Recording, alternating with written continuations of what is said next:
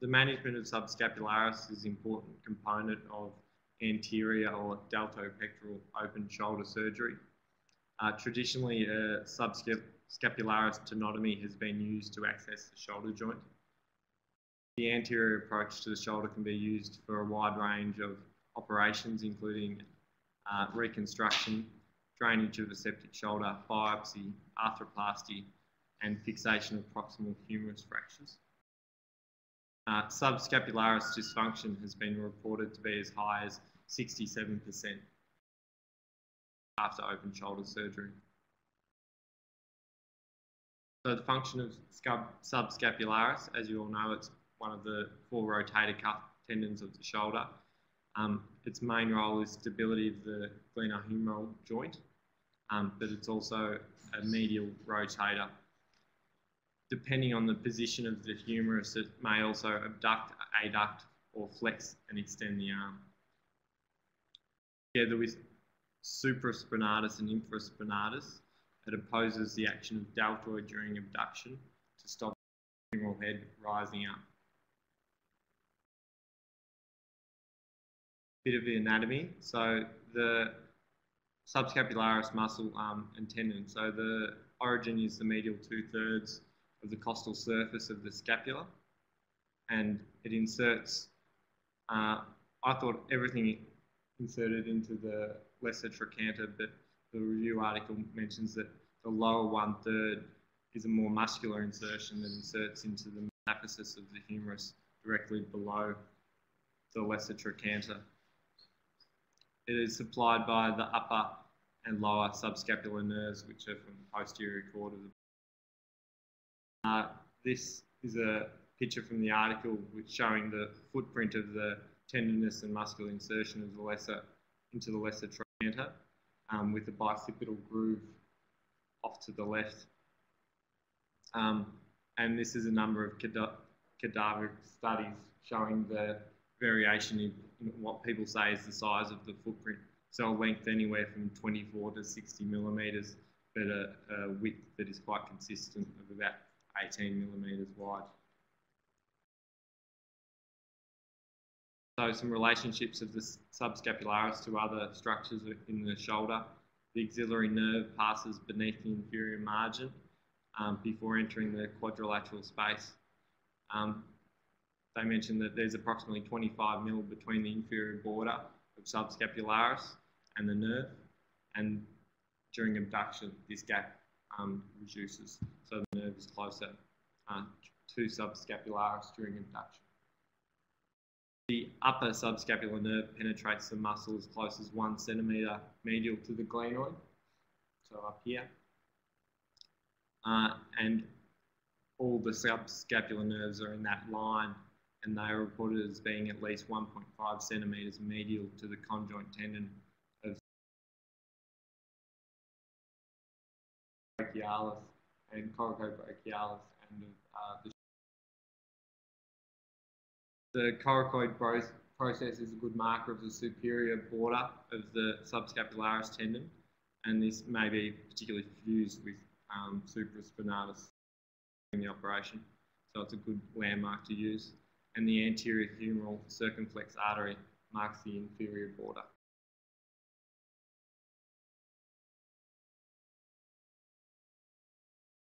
Yeah, which I thought would be unusual because I would have thought there's nothing actually in between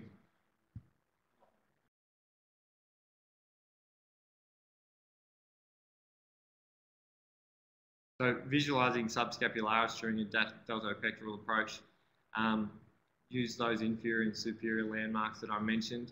Internal and external rotation may assist identification of the muscle. Um, and scarring of the clavipectoral fascia and conjoint tendon will obscure the tendon, so require a um, much more careful uh, debridement.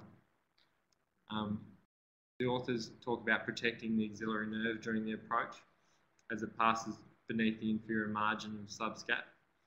Um, they refer to it as being leashed by the anterior circumflex humeral vessels, um, and they say there's no reports of AVN from ligating it. Those the nerve should be visualised, and protected at all times, their preference is to put a blunt retractor between the muscle and the nerve and to continuously check on the um, health of the nerve during the operation. And they refer to um, doing an axillary nerve tug test, which involves having one finger sitting on the nerve and another finger sitting on the anterior fibers of deltoid and pulling on the deltoid muscle, which apparently gives you a tensioning of on your other finger on the axillary nerve, meaning that is the axillary nerve connecting the deltoid and the um, nerve, and that is, is intact. Uh, so here's some of the relationships I was talking about. So there's the uh, axillary nerve going under the subscapularis and brachial plexus here, which will have the subscapularis.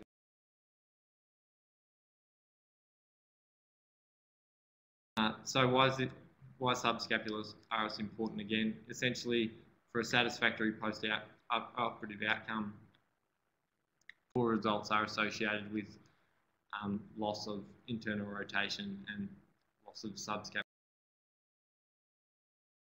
Tendon healing um, involves a variety of staging stages, including inflammatory stages, proliferative, reorganisation, and remodeling. Um, strength of the, the tendon healing increases with each phase. The aims of repairing and looking after subscapularis is to replicate a normal tendon. Risk factors they mentioned for poor tendon healing include fatty infiltration of subscapularis and preoperatively, and a tendon to bone repair as being a, a poor prognostic indicator. So uh, subscapularis tenotomy is the classic approach used. Um, the authors recommend if using this approach, uh, do an incision one centimetre medial to the insertion of at the lesser tuberosity, or alternatively one centimetres laterally to the musculotendinous junction.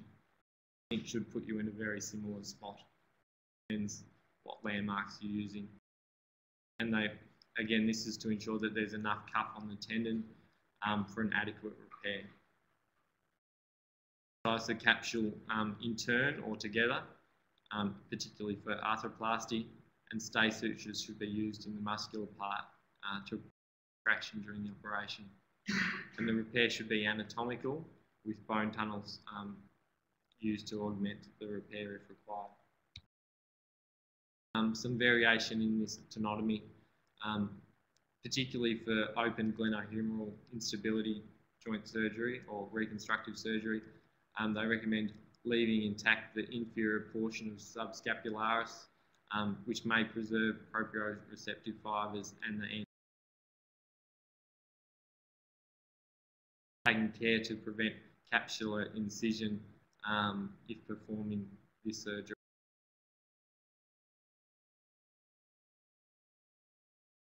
Capillary tendon and then diathermy and potentially if you can get into that layer prevent doing it.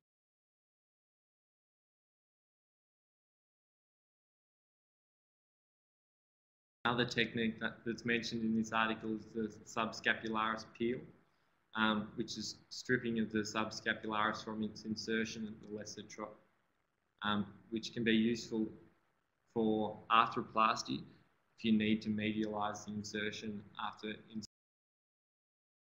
prosthesis if you've increased glenohumeral offset. This, this repair definitely requires bone tunnels.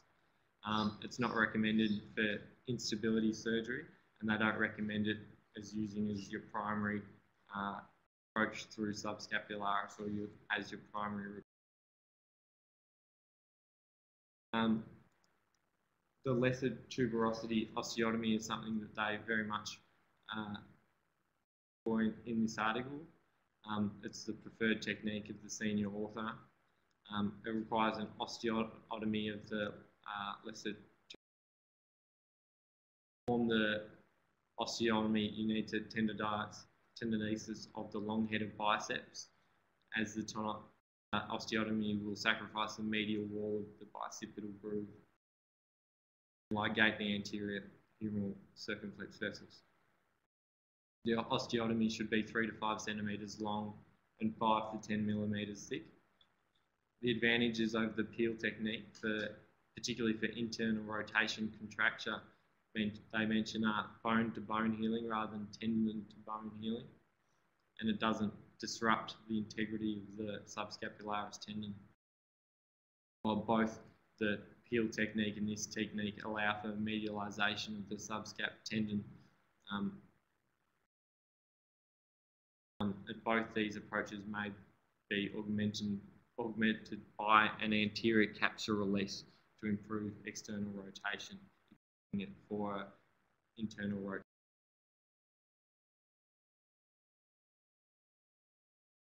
Uh, the author's approach um, post arthroplasty um, for doing a repair involves drilling some holes through the lesser trochanter um, and grabbing your osteotomy, osteotomized bone and subscapular tendon and pinning it back down, but also wrapping the suture around the entire prosthetic,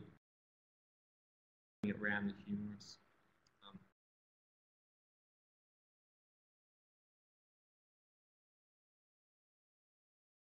another approach um, that can be used for instability surgery um, is a subscapularis transverse split, where a split is made at the junction of the superior two-thirds and inferior third in line with the muscle fibres.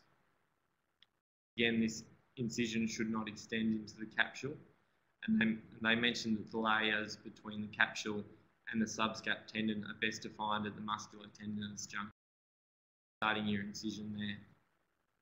And they weren't fussed if you were repair this or how you would.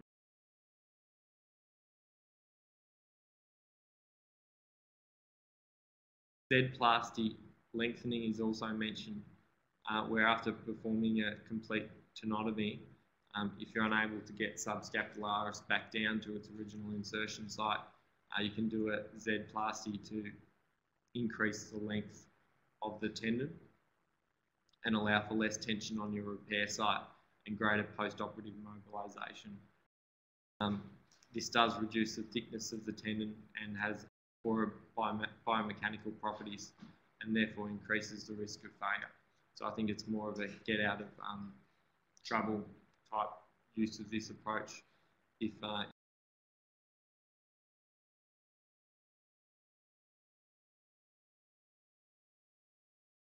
So some biomechanics of the repair. Um, contraction forces of up to 250 newtons, which is equal to all three other rotator cuff muscles combined, um, go through the subscapularis tendon. In cadaver studies, transosseous tunnels and direct versus direct tendon on tendon repair um, provide more secure fixation. I'll just go over that a little bit again. So transosseous tunnels and, and direct tendon repair provide a more secure fixation than transosseous tunnels alone. Tendon to bone repair is associated with a high fail rate than bone to bone and tendon to tendon repair. And the site of weak points include, with the suture repair, include the tendon suture junction and the tendon bone junction.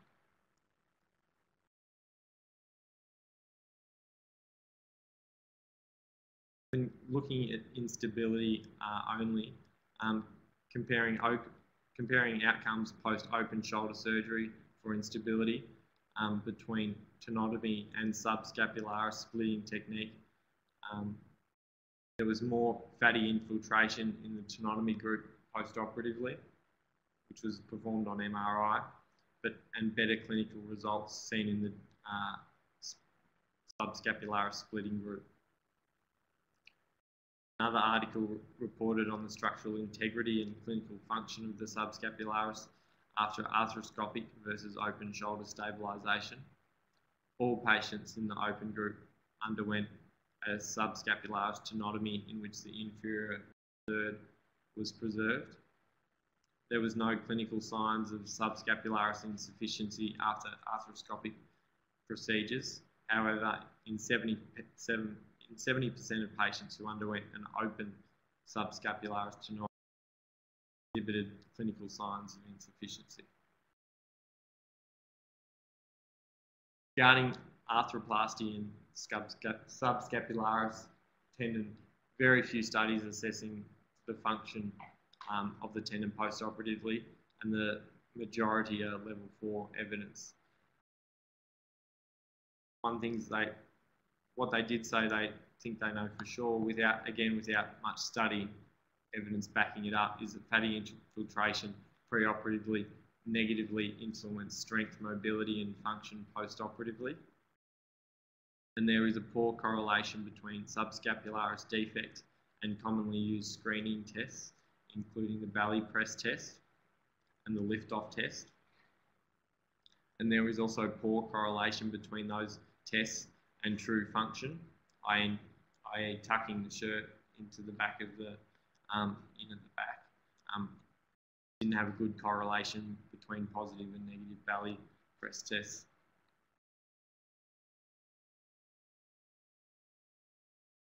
Regarding the repair, they say meticulous repair of the subscapularis is critical regardless of technique.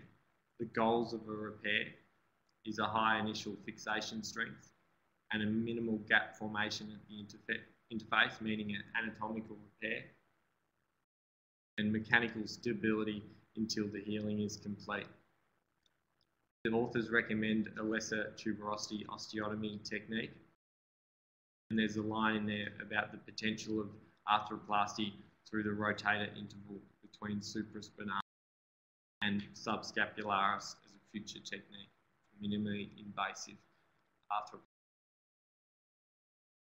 In conclusion, uh, several options exist for the management of subscapularis uh, during open shoulder surgery. Management will depend on the type of operation, the quality of bone, the quality of tendon and the quality of muscle. Strong anatomic repair is critical. There is little evidence um, technique of management of subscapularis over the other. Bone on bone repair or tendon on tendon repair will likely result in a much better outcome than tendon on bone.